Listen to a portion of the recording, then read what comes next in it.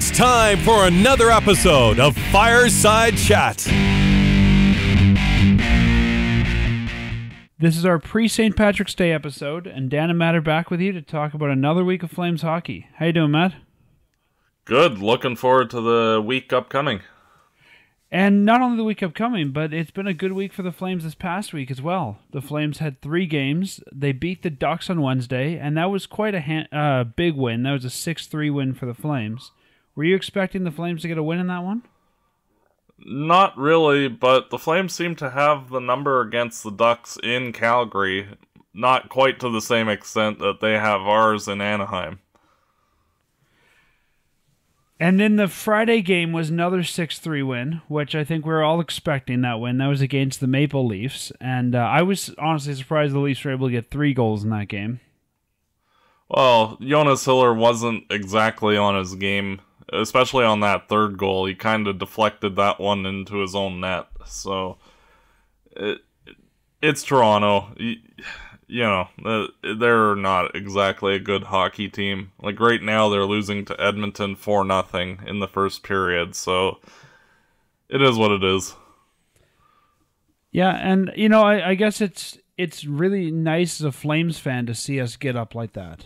Um, to me, that was that was a lot of fun, is to see the Flames get up that much and you know, get a, a, six goals in two games. They had twelve goals, and that was really nice to see. It's re- it puts a lot of confidence in you going down the stretch. Yeah, and unfortunately, they the next night they lost to Colorado three two, but it wasn't for a lack of trying in the third period, as they just kept firing the puck at Varlamov, and he just kept them at bay. Yeah, that that was a that was quite a tough game. You're right, but Varlamov really stole the show on that one.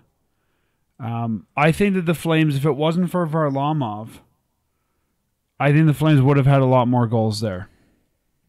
Oh, definitely. There was at least three shots that, if say Reto Berra or Calvin Pickard was in net, they would have scored. It's just when you got the defending Vezina Trophy winner against you and he's on his game, you're not gonna have an easy night. Yeah, the Flames were outworking the. Excuse me, the Flames were outworking the Avalanche for most of that game, and yeah, I feel like they deserved a better result. But you know, coming away after two strong games at home, that's that's an okay. As much as you don't want to lose any of the three games all week, I guess that's the one that I would have they they that's the one that I would prefer that they lost. Yeah. Uh, you're not going to win every game. And, like, even against weaker opponents, there are games that you're going to lose. And it's frustrating, but at the end of the day, it's not the end of the world. They have a game tomorrow against St. Louis that they need to have a strong effort for. And then the next five games are all against weaker opponents. So hopefully the Flames can bounce back against the Blues and then push ahead against some weaker opponents. Well, it's been a while since we've won, or sorry, it's been a while since we've lost two or three consecutively in a row. Um, you know, generally this team is really good at bouncing back, and we've seen a lot of wins lately. So I have I have no doubt that the Flames are going to come back. Yeah, and this is the key time in the season, the next handful of games to hopefully cement themselves firmly in a playoff spot instead of being on the bubble with Winnipeg and LA. And talking about this good week that the Flames have had, um, Jiri Hudler also had a fantastic week. If we are going to single out a Flame, he has uh, he has quite quite a, a set of records here. Um, all of them came against Toronto. He matched his career high in goals in that game, um, and he set new records for assists and points. And as of right now, he's sitting at 66 games played, 25 goals, 35 assists for a total of 60 points. And, you know, I, I think we talked about this before, but yeah, Hudler's really looking good this year. And I hope that we see the same Jiri Hudler next year because this is the kind of player that we need in order for the Flames to be successful long term. What a perfect foil for the two youngsters, Gaudreau and Monahan, to have to bounce off of, eh? Oh, for sure. And you know, I I was saying this last season when we were talking about the rebuild. I said you can't have all young kids. you have to have some veteran guys, and I think this is a great example of why. You know, Jiri Hudler's kind of become the the anchor on that team, the veteran mentor of those guys. And I, I think that all three of their successes this year, we can we have to tribute to them as a line. Definitely. And the fact that all three of those players are now over 50 points is somewhat remarkable, especially heading into the season where there was so many question marks on where the goals and the points would come from. Yeah. Well, and and also for Gaudreau, I mean, a guy who at the beginning of the year we didn't think was going to make this team. You know, you and I both had him, I believe, going to Adirondack in our preseason preview. And for Gaudreau to be over 50 points now, that really shows that he does belong in the NHL. Well, not only that, but he's tied for first with uh, Filip Forsberg in Nashville for the rookie scoring lead. Yeah, he keeps making more and more of a case that he should be the Calder, uh, the Calder champion this year. Yeah, and especially the two other guys, uh, Ekblad and Forsberg. You look at them, and the, you know they're not five foot six. Yeah. So it, I would give the more deference to Gaudreau just because of his stature. Yeah, yeah, I think that'll definitely come into play. I think a lot of it's going to depend on how those teams do, if they do, in the postseason. True. Like if the Flames actually do make the playoffs, I think that it, you'd pretty much already be penciling his name on the trophy list there. Yeah, we, we talked about this earlier in the season when we talked about uh, Bob Hartley winning the Jack Adams Trophy, but I hope that it doesn't come down to just the teams in the playoffs winning these because I think the Flames have three great hardware candidates this year in Gaudreau, um, Hartley, and Giordano. And I hope that if we don't make the postseason, that those players still get fair consideration. I agree wholeheartedly. Well, let's uh, let's chat about another surprising thing that happened this week. Um, to me, the Hudler career highs were surprising, but we also found out that uh, Douglas Murray, a guy who's been known to be a pain in the Flames' backside when he played for the Sharks, is now in Calgary and on a part-time tryout agreement practicing with the Flames if Murray is to get signed this year, just to make er, make sure everyone's aware, he would be able to finish the regular season here, but he would not be eligible for postseason play. So, Matt, do you think they're seriously looking at signing this guy down the stretch, or do you think they're just bringing him in to have an extra body on the blue line at practice? Well, it wouldn't hurt. It, if you've looked at the play of Rafael Diaz lately. He hasn't been quite as sharp the last five or six games.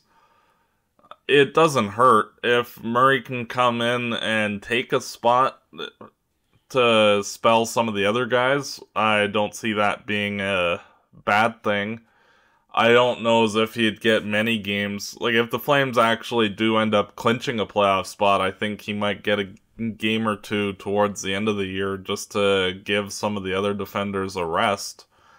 But beyond that, I don't see a problem. And if he can come in and take a spot, why not? It, it also is a good addition for next year in case the Flames are looking at possibly signing him sort of as the Rafael Diaz type guy for next year. See, the issue that I have with uh, with Douglas Murray is he's more of a goon than a guy like Diaz is, and I think that we're seeing that goon role go away in the NHL. So I'm not sure if bringing him in is a good idea. I don't think that we've seen really a year where he's shown he can play another type of role. He's definitely an agitator, and that's what our team needs this year. But I just worry that he'd take too many undisciplined penalties when we're in a spot where the Flames need discipline right now it's one of those things that eh, it's not really that important in the scheme of things. Eh, he wouldn't likely be playing much this year, at least, and uh, I think that the main reason he was brought in was because Ladislav Smid is out for the remainder of the year. Yeah, no, I think you're right. I I I think he's definitely been brought in because of that, and because the Flames need some bodies on defense. Um, I mean, you know, Murray's been around the NHL for a while. He knows what it takes to play at the NHL level. And I guess I'm just kind of looking at him going, is this really a better choice than, say, Corey Potter or Tyler Wotherspoon? Um, but you know, if they do want to sign him down the stretch for just the the end of the year, I guess I'd be okay with that. Um, gives us some options, but I wouldn't sign him into next year until you know you bring him to training camp and make him audition again, because we don't know what the blue line is going to look like next year. Definitely, and it, I would only have him on a PTO uh, tryout for next year, not signing him for the full season. And I think the big Let him question, earn the spot. Yeah, no, exactly. Earn this spot, and I, I don't think he has right now earned you know a two year deal this year, next year. I'd say okay, you came in, we know what you've got now. Come back in August and September for the you know the workouts, the tryouts, and let's see if you can earn it again next year. My my other worry with Douglas Murray right now is he's only played eight games all year, and they were over in the DEL League in Germany.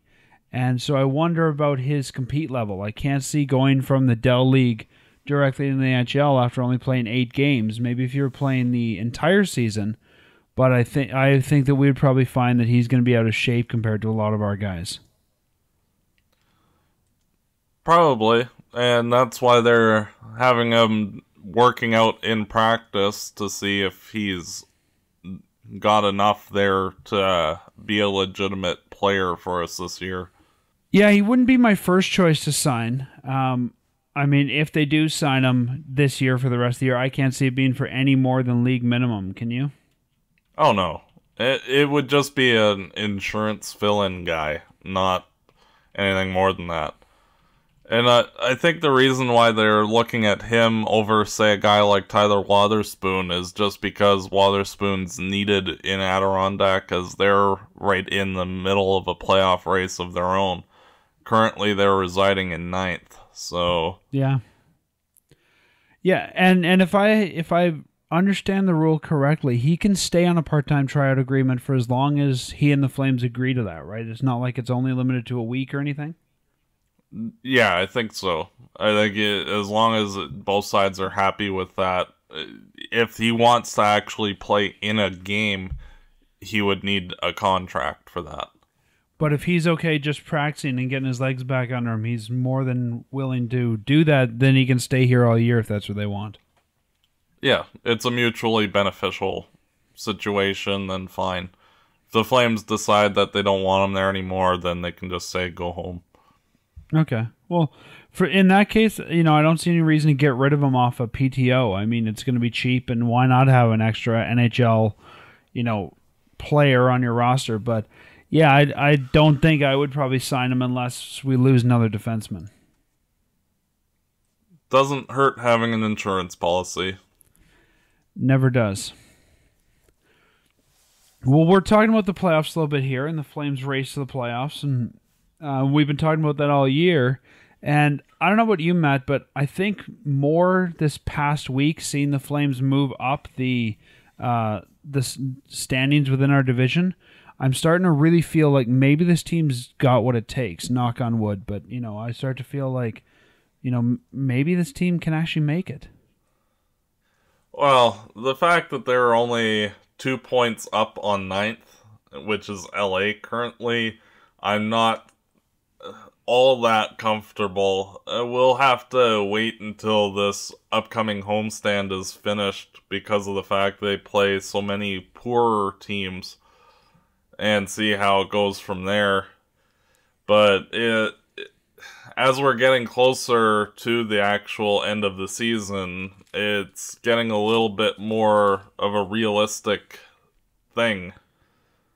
Yeah, at the very beginning, it was wow, they're playing well. Wouldn't it be nice if? And you know, now I'm already starting to see and uh, hear from you know bars on 17th Avenue preparing for the playoffs and that sort of thing. And I don't want anyone to be premature, but yeah, it looks more now like you know we may be in the postseason dance if everything keeps going right. Yeah, and like you look at the Winnipeg Jets, and they're the de facto eighth, ninth team, and they're without Dustin Byfuglien until the end of the month, and Tyler Myers was hurt briefly. Who knows? But the Flames, that's the team they have to beat, and we'll see. The next couple of games will help to set the tone, at least. And at least we're on the upside of that. We're not in ninth currently and trying to get in. Yeah, no, you're right, and and that's the thing is it's and this is I guess the part I'm the most happy about is that the Flames get to chart their own course this year. They're in the power position. They get to decide what's going to happen based on their play. It's not like we're waiting for other teams to lose and all these weird things going on. It's it's the Flames' destiny to chart their own course. Yeah, like we're not like where San Jose is, where they need teams like us to lose a couple of games and them to hopefully win a couple of games to get in or anything like that. Well, you know, one of the things that people always say is important in the playoffs is um, playoff history and guys who have playoff experience. And I was curious, so I did a little bit of research um, after reading some some people asking online about how much playoff experience the Flames have.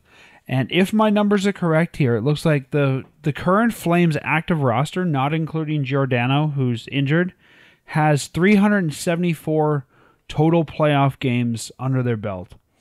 Um, Jiri Hudler, no surprise, has the most with 66, and he's probably, though I didn't track it, also gone the furthest because he was with Detroit for so many years. Corey Potter has the least of the guys that have actually appeared in the playoffs with one game, and nine players on the team have zero games of playoff experience. So, you know, we do need those veterans going into the playoffs, the guys that have been there before, but I don't know. To me, the fact that nine guys don't have playoff experience is not surprising, but a little bit unsettling.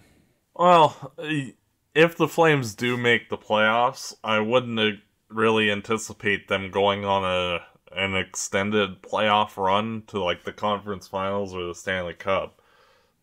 So, like, even if they only play six or seven games and lose in the first round, at least they're getting their toes wet uh, for next year and beyond. That's true. Um, a guy on that list that surprised me was Mason Raymond has like 50 some playoff wins, or not wins, but 50 some playoff appearances. And I guess I, I had to look back at who he'd played for in the past, but of guys in this team, he wasn't one of the guys I was expecting to be one of the top playoff uh, experienced players. Well, Vancouver did make that run to the finals that well, one it. year. Yeah, and and so. that's where a lot of those games came because they played a lot of games in some of those rounds. Mm-hmm. I, I don't know. I always think of I never think of Raymond as a as a uh, a Canuck. Every time I think of him, I think of him wearing a Leafs jersey. Well, that's kind of strange considering he played most of his career with Vancouver. I know. Just the one year with Toronto. I know. It's weird. Every time I think of him, I'm like, how did he make the playoffs there? So, yeah, it is kind of weird, but I, it's probably because I'm trying to block out most of the guys who wear Toronto wear uh, Vancouver jerseys. True. So yeah, that's kind of an interesting stat that I haven't checked other teams for comparisons or anything, but you know, a, a fairly um, a, a, fairly inexperienced playoff team, as we saw in 04. Not saying that we're going to duplicate what happened in 04, but a fairly inexperienced playoff team, and that might come back to bite them when they get to the postseason.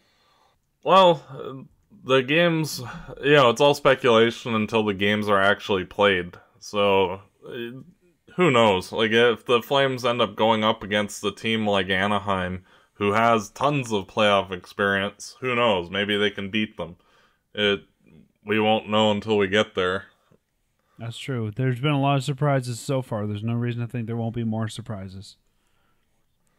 Exactly. And plus with Calgary's ability to come back, who knows? Even if a team might think that they got them on the ropes, the Flames can come right back. Who knows? Yeah, no, for sure. We'll we'll definitely see what happens. It's been it's been such an interesting season so far that um you know, I have no doubt that if we do make the postseason, it's going to be an interesting postseason too. I d- I don't think it'll go probably the way a lot of people expect it to go. No, like I'm not expecting the Flames to be a four and out type thing. Well, Uh, it, depends who we play. If we're against the Ducks and the first two games are in Anaheim, we we might be better to just stay home and rest. there, I believe there is a forfeit rule in the NHL rule book. Well, who knows? Like anything, uh, things weird things can happen. The last time we faced the Ducks, we actually did win a game in Anaheim during that playoff series in 0506. I think that was the last time we won in Anaheim. Yeah, it was. In the regular season, it was 0304 when Kipper and Iginla weren't in the lineup. So, Wow, and Travis Iggy- Green scored one of the goals. holy cow! Well, Iggy and Kipper aren't in the lineup again, so we might have some postseason success there. yeah.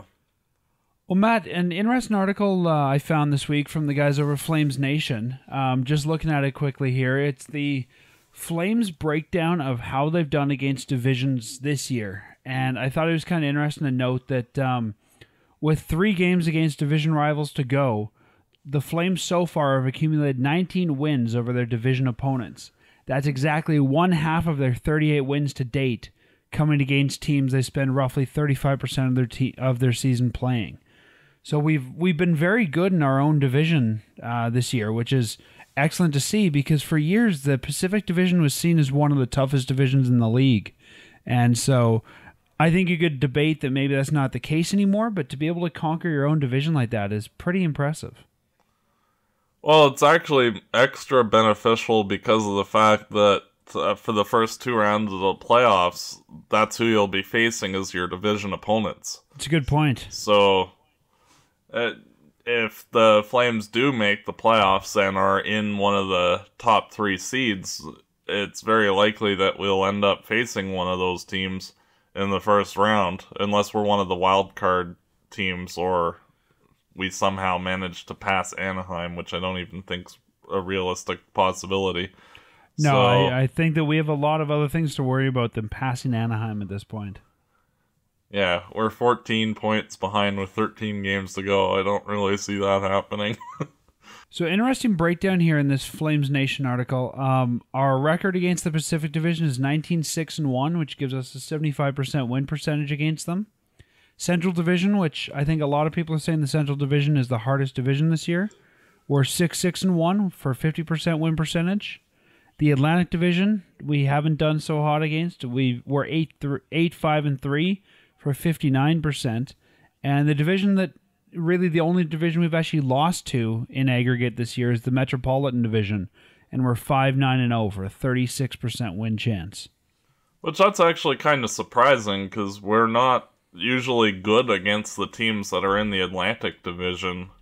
Like in my memory, like teams like Pittsburgh and all that usually mop the floor with Calgary. So the fact that we're actually worse against the Metro Division is surprising. Yeah, the Metropolitan Division is the Rangers, the Islanders, the Penguins, the Capitals, and the Flyers. And we haven't seen those teams a lot this year, but yeah, it seems like they've five nine and zero. We've only won five against them, so yeah, they've still got our numbers Oh. for the most part. Oh, my mistake. I was flipping the Atlantic and the Metro. Yeah, My mistake. yeah, no, So yeah.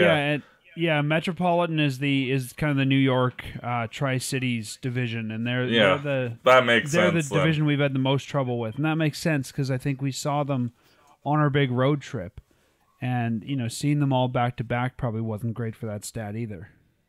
No, and we usually don't fare too well against those teams historically, even so. It's not surprising that they ran into troubles against them. Yeah. And the Flames have three games left against their division one against the Coyotes, one against the Oilers, and one against the Kings. And I think if you look at where those teams are uh, right now, you'll see that probably the Flames, if everything goes the way it should, would beat the Coyotes, beat the Oilers, and only the Kings might give us a bit of a problem. And even if we only get four of the six points, that's really good for what we need right now. Oh, for sure. For sure. So yeah, interesting article. Just thought I'd touch on that a bit. We will uh, we'll tweet this article from uh, Ari over at Flames Nation, so everyone can read it.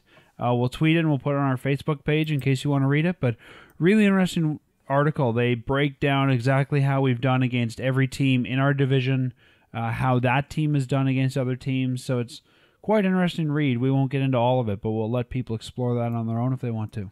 Matt, we uh, we were talking before the show today, and we said there's been a while since we've talked about uh, the farm prospects. It's been a while since we've looked deep into the Flame system, really, besides talking about how the team has done overall in Adirondack.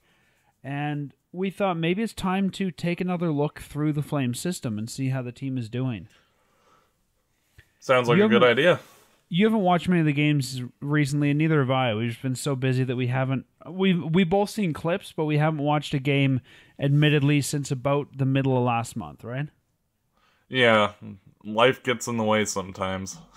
Yeah. So brief rundown here um, that we'll start with is how some of the guys are doing in Adirondack um, in the last little bit. Believe it or not, Devin Setoguchi is finally back. That's not something I thought I'd be saying. Uh, he's picked up his game since he returned from injury after the trade deadline, and he has two goals and three assists in the last three games. So there, there's a guy who's looking for, um, I guess, probably an NHL job next year. Five points in three games for Adirondack. I didn't think he'd be performing when he came back. Yeah, I'm actually somewhat surprised that he even returned to the club in I mean- Adirondack. Me too. I kind of expected that they'd probably just let him, you know, walk and suspend him or whatever they do. But I also have a feeling they may have brought him back because they needed a body. True, like they are Adirondack's lost a lot of currently. players. Yeah, they're currently playing uh, Patrick Sieloff as a right winger right at the moment. and he's usually a defenseman. Exactly. And according to uh, some of what I've seen online, um, I've also been been reading people and talking to people who've gone to the games who've said that in Ortio's absence, Brad Thiessen and Doug Carr, who was called up as the backup, uh, have been playing well. Carr's been surprising at times with how well he's played, and Thiessen has looked uh, solid when he's been playing, but that they can definitely tell that um, they're missing Ortio. Neither of these guys are are going to steal games down the stretch, but they've been able to hold down the fort. And looking at the stats and where the Adirondack Flames are right now, that might be the thing that cost them a playoff spot.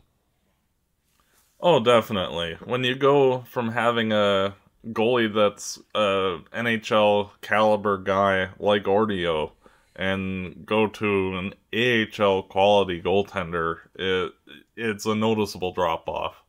Yeah.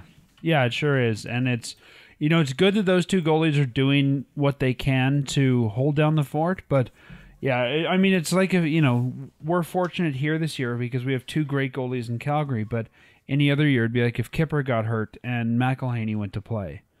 You know, there'd definitely be a big drop there. So I sympathize with the Adirondack fans because they've lost their their good goaltender, but glad to see that somebody's stepping in there at least to hold down the fort. And they've let in a lot of goals lately. The Adirondack team, I think they had two games where they let in eight goals in a week in each game. So yeah, it's probably showing that those guys aren't the goalies that are going to take you very far. No, and it's unfortunate, but the way things are trending, Adirondack is looking like they'll be sliding out of a playoff spot and miss the playoffs entirely.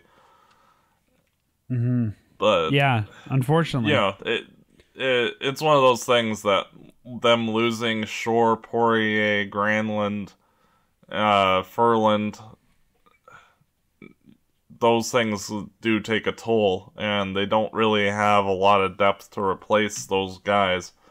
Uh, the only guy that's been performing at the top of his game of late has been David Wolf, and Bill Arnold, since his return, he's played well. But beyond that, like everybody else is kind of waffling in the middle. Well, let's chat about Bill Arnold for a minute because he was a guy that, if you remember at the beginning of the year, I wasn't sure how he was going to do in Adirondack without Johnny. And, you know, he's been Johnny Hockey's sidekick for years. That's, you know, his MO, I guess, was almost being that sidekick. And I was really curious to see how we do this year. I honestly thought he was going to flounder. I thought we'd have a bad year from Arnold, and really it would take him a couple of years to figure out who he was without having Johnny by his side. But he's done pretty well this year. In 45 games played, he has 11 goals and 15 assists for 26 points. Um, so to me, that's quite a surprise. I'm pleasantly surprised by how well he's done establishing a new identity without Johnny Hockey playing with him. Yeah, in the 2013 development camp, he looked like a a solidly above average skater and nothing to write home about. But coming into this past development camp back in July, his speed and fitness level really improved. And that, I think, is the main reason why he has had such a good season is that he has taken his fitness level and speed up a, to a higher level and it's allowing him to adapt more to the AHL game. And with him having 26 points in 45 games, if you extrapolate that, that's almost a 50 point season in the Yeah, AHL. So, you know, that's pretty good. It, it- you would expect those type of numbers from an AHL veteran player, not a rookie. Yeah. So that that's showing that in next year and beyond, uh, there's uh, some NHL potential there, even if it's not a high level NHL spot. Yeah, Arnold was out for a while. He has a shoulder injury, and since he's been back, he has two goals and three assists in last week and a half. So good to see that he's coming back and he's stepping in right away. As we know, sometimes these guys take a while to get their groove back, but that's really good to see. It shows his fitness level. And another player who's having who is having a great month so far, a guy that I wouldn't expect to be, is Kenny Agostino. Uh, he's one of the scoring leaders on the team. He has two goals and six assists in the last six game, and apparently is I'm just looking at the stats here, getting a lot more ice time recently. So Agostino is one of those guys that I've never really been sure how he's going to pan out. You want him to pan out well, at least I do, because of how we acquired him. He came as part of the Flurry deal, but good to see that maybe he's. Oh, sorry, the Iginla deal. My bad. Yeah, uh, came as the Jarome Iginla part of that package, and so it's good to see that he's, you know, on the upward trajectory. Hopefully.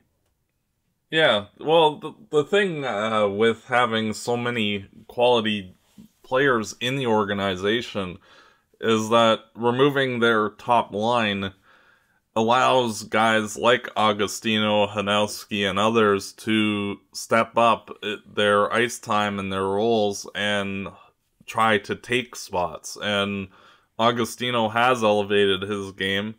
He's now producing at a half point per game in the AHL this season, which is all right for a first year pro.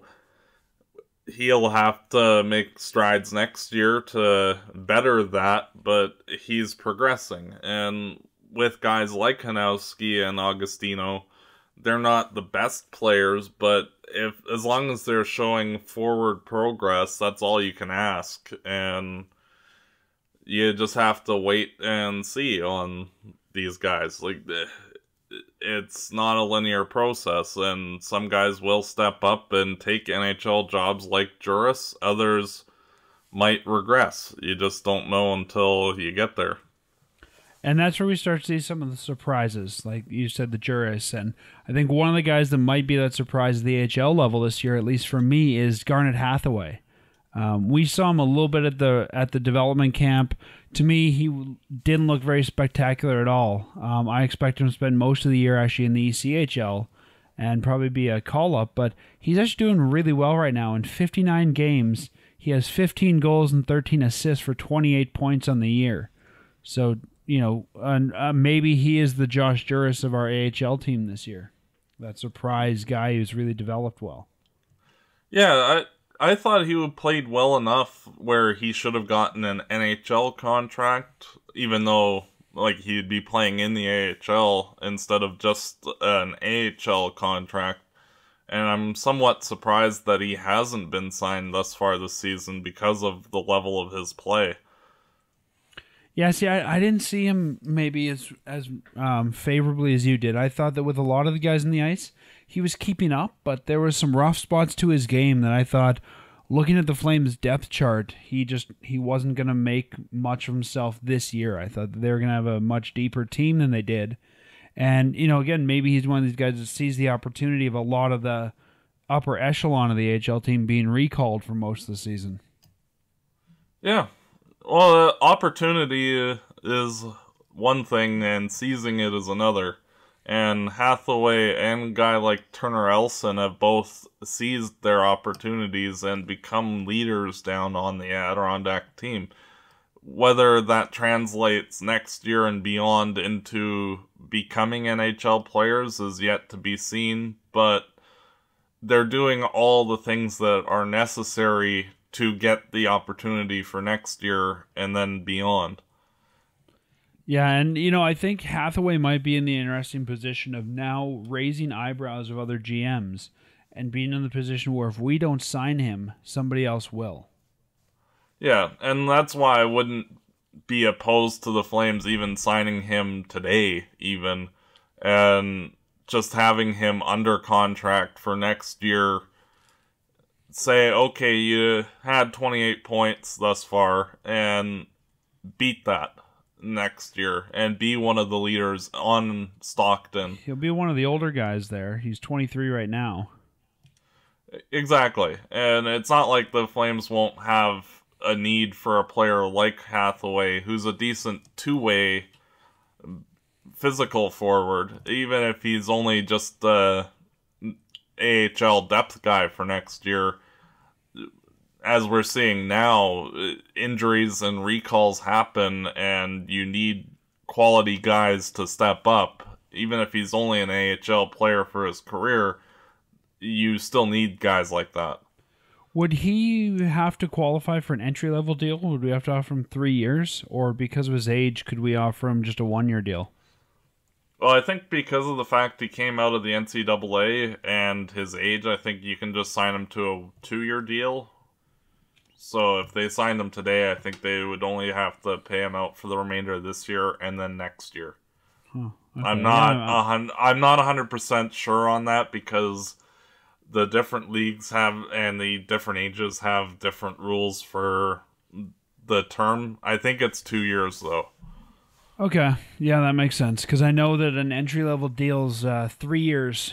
You can't do any more, you can't do any less. It's uh 3 years on that deal. So yeah, I didn't know because three years might be a, a long time to keep him around, but I could see doing this year, and next year for sure. Yeah, and it's one of those things. He's done enough where I think that he's deserved a shot again next year, and it's one of those things. He could just fall flat and not be worth it, and in which case, then you just don't re-sign him. Yeah, and you know, in in that case too, he could always go play in the ECHL and you know try to pick up his game. Uh, to me, if Setoguchi can pick up his game, anyone can. Exactly. More competition is better. That's the way I look at it. And the last guy we'll we'll talk about on the AHL roster, unless someone else you want to highlight, is Max Reinhart, a guy who I was saying on the show before the trade deadline, I didn't think would perhaps be in a Flames jersey after the deadline. Uh, he's having a good March. He has three goals and six assists in his last seven games. So, you know, good point production there. And I think Reinhart, from what I've seen of him this year, might be realizing that his game is really more of a playmaker. And, you know, the games I've seen him play, he looks like he's developing into, into a good playmaker. And that could help him stick around for a little bit longer. Yeah, Reinhart's had a really terrible year and his shooting percentage is way, way, way down from last year. I, I don't know what exactly is wrong with him in terms of shooting the puck. Like, I know he had over 50 points last year, and he's only got 25 this year, and most of that's been recent production. I'm hoping that he can just have the one bad year and bounce back, but he's got a lot of work to do, and I don't know if he's going to be able to bounce back or not. We'll see. And he, like a lot of players, like Kanowski and Agostino, and that, they're kind of on the bubble of not really sure whether or not they should be back in a Flames jersey next year. Well, and Reinhart, as we talked about before, and you know, I don't want to dwell on it too much, but um, Reinhart was a guy that I think everyone looked at as one of the top prospects coming into this year, and I feel like he's fallen on the depth chart because a lot of other guys have pushed themselves higher than him. So I think he, of all of the prospects, has a lot of proving to do to show that he's still one of the one of the pinnacle prospects. Exactly, and that's why you need as many good players in your organization as possible, both in terms of drafted players and signed players, and have that competition because some guys will fall flat. And we, didn't expect Sven Baertschi to fall flat like he did, but he did. And, you know, you got a guy like Josh Jooris who came out of nowhere, and he's taken a spot in the NHL. So if Reinhart falters, maybe a guy like Bill Arnold takes his spot in the organization in terms of talent and positioning. Who knows? But it, it's just good to have the competition to allow the the best players to rise to the top. And a final note at the, I guess, Flames AHL level the Flames finally picked the name for their new AHL team next year. The team will be known as the Stockton Heat. And fortunately, they didn't do what I thought they were going to do and just use the old Adirondack or uh, Abbotsford Heat logo and put Stockton on it. But uh, the logo is on our Twitter and Facebook right now. If anyone wants to see it, it's also on the Flames website. I'm not a big fan of the new logo. No, it's one of the, in my opinion, one of the worst logos of any team that I've seen for an AHL club. It's not very well done in my opinion. Actually, and, the Adirondack or Abbotsford Heat logo, I actually preferred that one to Stockton's. That's how. Uh, yeah, I was a never a big fan big of that fan. one, but yeah, I, I prefer that one over what they've got now. Yeah, just a missed opportunity, and they're they're using the Flames' current jerseys as well, which is lazy. It it is what it is, and you know who knows. I'm I don't know. I try to not put too much stock in what the AHL team looks like because it seems for the Flames that it's not going to last very long. They keep moving their teams. That I'm really I don't know. I've kind of given up on what they're doing down there and stopped caring about it. Yeah, I know the logo looks a little too clip arty. It almost, taste, but yeah, to me it almost looks like they're not planning to keep it for very long. Yeah. It looks like let's just throw this together because we need something for next year. It almost looks like some of our rejected logos for our site. you know, it, the logo though looks yeah, you're right, it does. Some nobody ever saw that, but some of the logos that we had for Fireside Chat made up. Um, it does remind me of something that might look good on the Flames third jersey template though. Yeah. Just looking at the current third jersey template where there's a little bit more black than what we have right now, it might look good on that. Yeah, like if they had went with the the third jersey as the main template and like made a white version of that, then that logo would have made a lot more sense. But yeah, who knows? Yeah, so if anyone's interested, you can go to our, our Facebook or Twitter to see that, or you can go to the Flames site. And Matt, before we uh, before we finish tonight, we might as well take a quick look at some of the other Flames prospects who aren't playing at the pro level and how they're doing this year. Um, I won't go through all of them, but let's look at some of the big names. And I think probably the one most people are going to be wondering about is how Sam Bennett is doing after he recovered from his injury and got sent back to the Kingston Frontenacs of the OHL.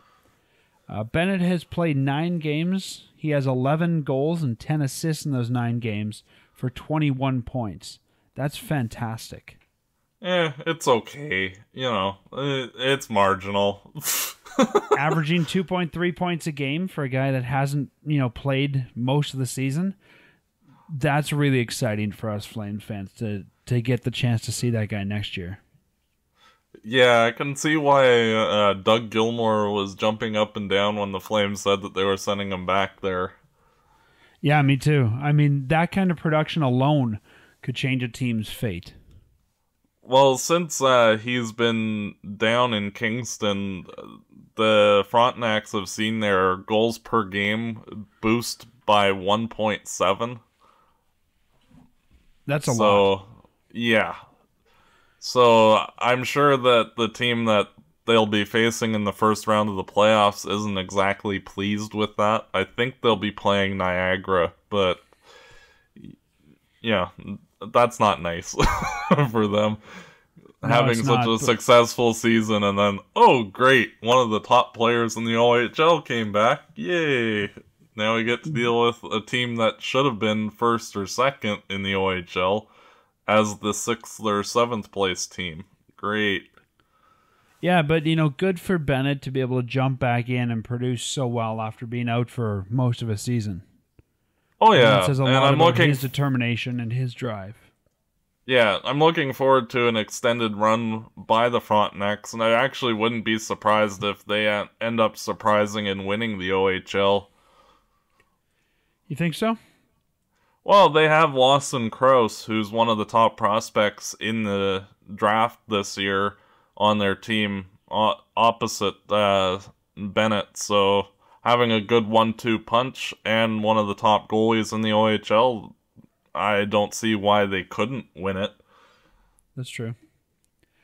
Uh, looking at some of these other players that have been impressive this year, Morgan Klimchuk, another player that we've all um, you know been eager to see how he's doing, plays with the Brandon Wheat Kings, and in 57 games he has 32 points and 41 assists for a total of, or sorry, 32 goals, 41 assists for a total of 73 points on the year.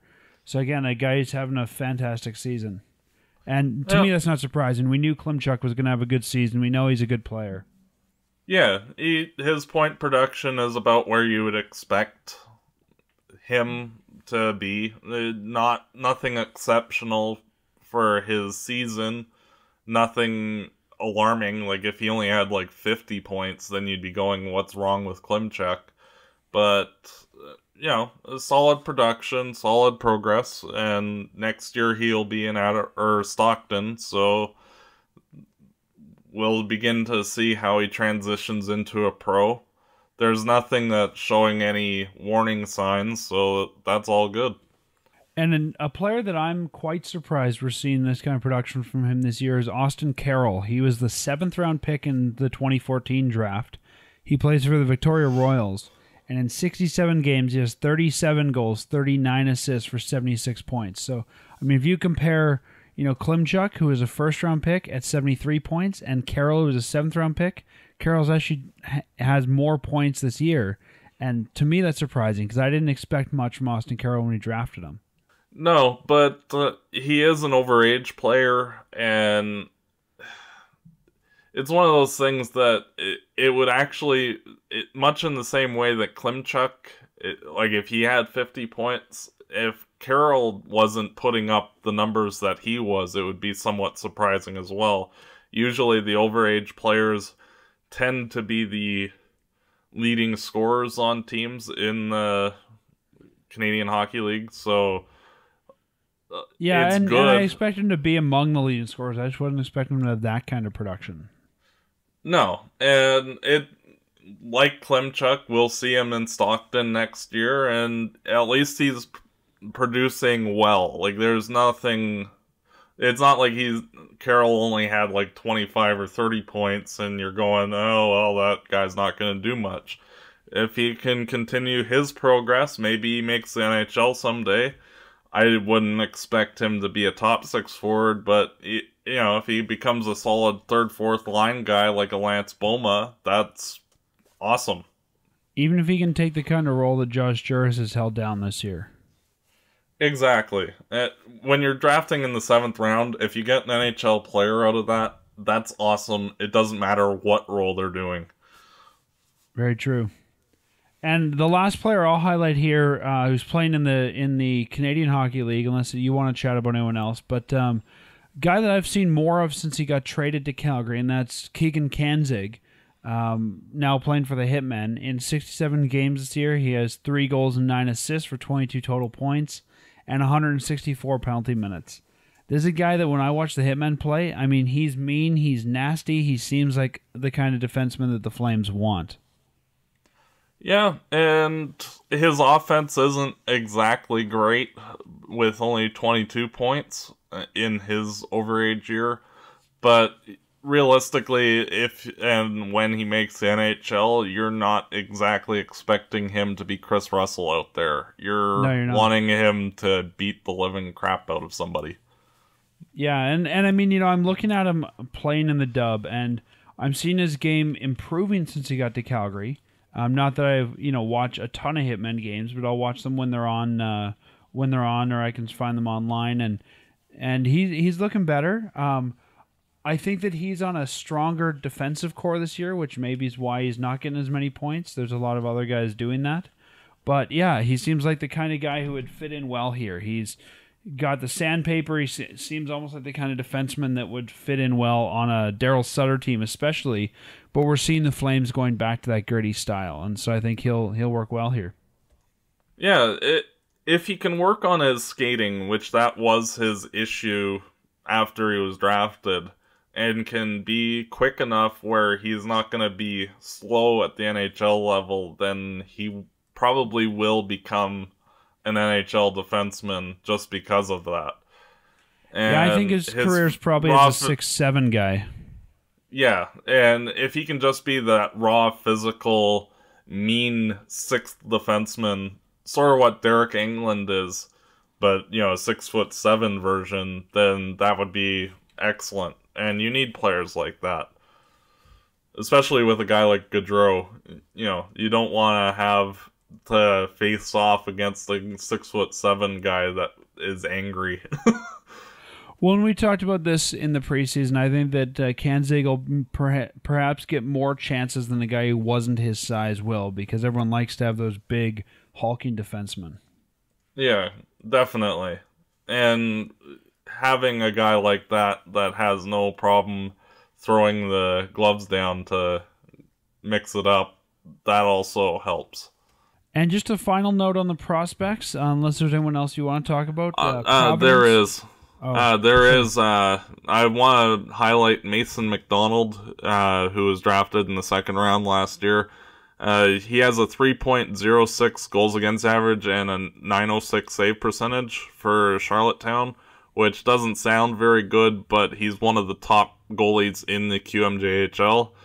Uh, he routinely, his team doesn't have a good defense score, so he's routinely facing like 40 50 shots a game and he's the reason why they're as good this year so he's doing a very good job and i'm looking forward to his progression next year and hopefully he can push for a starting job down the line Yeah, you really have to kind of, if you watch him, take into account everything that's going on. I was able to watch one of their games online this year, uh, Charlottetown's games, and like you said, the defense is not good there, so he gets shelled with a lot of shots.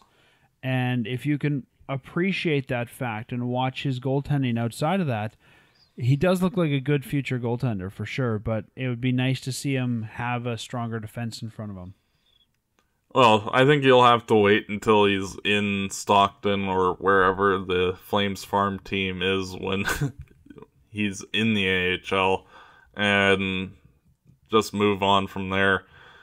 Uh, you know, it, it's good that he's getting as many shots against him now because it does help the more shots you face to improve your game. for sure. So yeah, we'll we'll see how he progresses. Um, you know, I wasn't a fan of his coming out of the prospect camp. I thought that he wasn't showing as well as I thought he would. But yeah, we'll we'll see how he turns out. See how he looks. You know, coming into the next prospect camp. Exactly. Lots to look forward to in July. And the last note here on prospects then is that uh, Providence of the NCAA has been eliminated from the playoffs, and that means that uh, Gillies, Jankowski, and Gilmour are all done for the season unless uh, Providence goes to the Frozen Four. So, guys that we might see potentially get an AHL tryout or an NHL tryout. Do you think there's any possibility those guys jump to the NHL? I think they'll probably all end up at the A if they get a tryout. Uh, well, the the weird thing with how the Frozen Four setup is is that it depends on who actually wins the playoffs will Okay. determine whether a team like Providence gets an invite. So they 'Cause just sit and Providence-. Yeah, uh, Huh.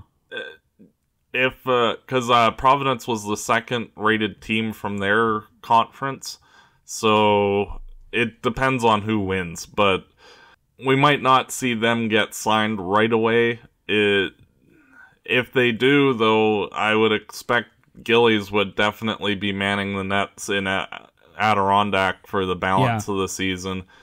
Uh, Jankowski, he might want to go back for another year. He might want to. I would expect if Gilmour and uh, Jankowski are signed, they'll likely get a game or two, sort of like Van Brabant last year.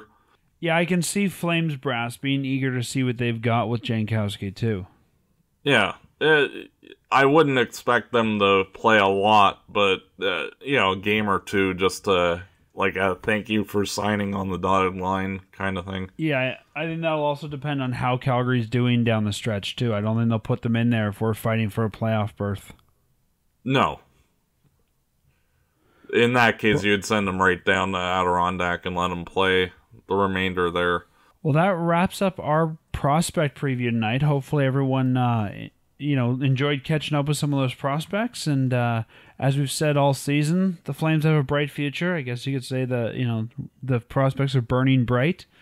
And so, some guys to watch there. Definitely some good talent coming up. Oh yeah, and with the Flames having as many draft picks in the first three rounds this year, we'll be getting another whole batch of top end guys.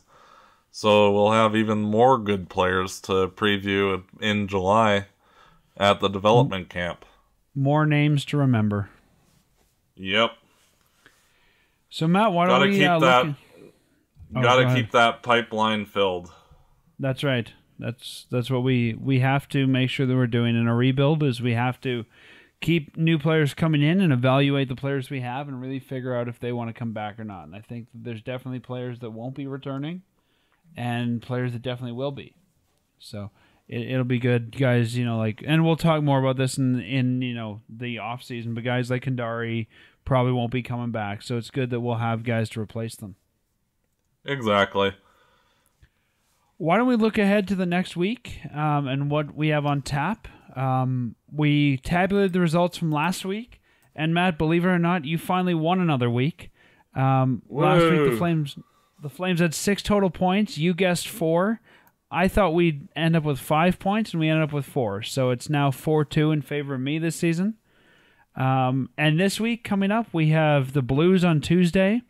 We have the um, Flyers coming in on Thursday, and that's for Retro Night. That's when the Flames will be wearing their retro jerseys again. And Hiller has a new mask. They've been promoting it all over the Flames website.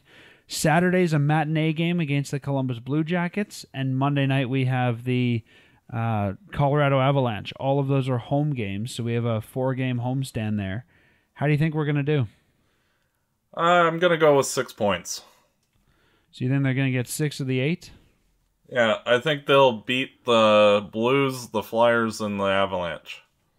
Okay, so the only game you don't think they're gonna win against is the Blue Jackets. Yeah, they don't do good in afternoon games, so I'll That's give true. them the loss there. I I'm gonna be a little bit more pessimistic, I guess. I think we're gonna do four points. I think that we're gonna struggle against the Blues and the Blue Jackets. I think we'll do well against the Flyers, and I think we can beat uh, the Avalanche. So I'm gonna go with uh, two of the four. All right.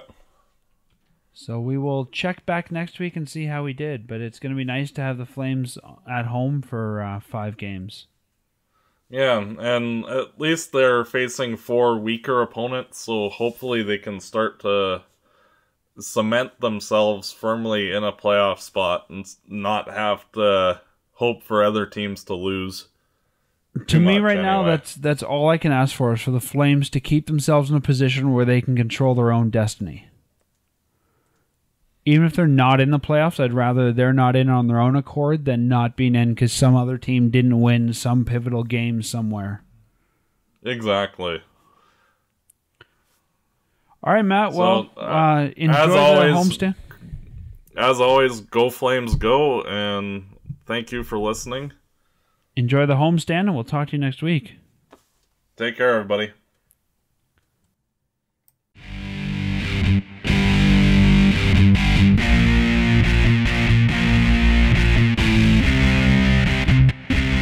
Fireside Chat is edited by Mike Crosby and Brett Bauer. This show is licensed under Creative Commons license. For full license information, visit firesidechat.ca.